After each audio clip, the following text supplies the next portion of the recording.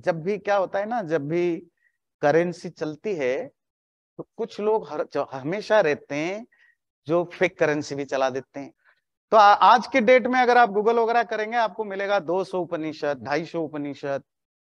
मतलब कोई दस पंद्रह साल पहले भी एक मुझे एक भारत में था मुझे किसी ने गिफ्ट किया एक बुक उसका नाम था अनिश उपनिषद। मैंने कहा ये अनिश क्या होता है? बोले ईश उपनिषद होता है ना जी। क्या है? ईश ईश मतलब परमात्मा, प्रभु। परमात्मा है, उसके बारे में जो, जिसमें डिस्क्रिप्शन है, ईशोपनिषद। ये अनिशोपनिषद क्या है?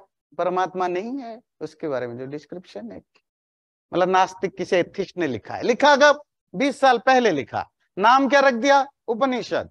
और आपके जैसे, हमारे जैसे भोले वाले क्या सकते अच्छा 201 उपनिषद बने। अच्छा ये भी हमारा ही शास्त्र है।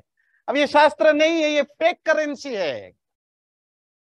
तो 11 के अलावा आपको बाकी जितने उपनिषद मिलेंगे सब फेक हैं। उपनिषद नाम पर चलाते हैं अपनी अपनी एजेंडा अपनी अपनी विचार थोपने के लिए। तो ये आपको बचने की ज़रूरत है। आप गूगल करेंगे कि आपको 200 ही मिलेगा। अब अगर 10 साल के बाद करेंगे 300 मिलेगा। 15 साल के बाद करेंगे, साढ़े तीन सौ मिलेगा। बदमाशी चलती रहती है।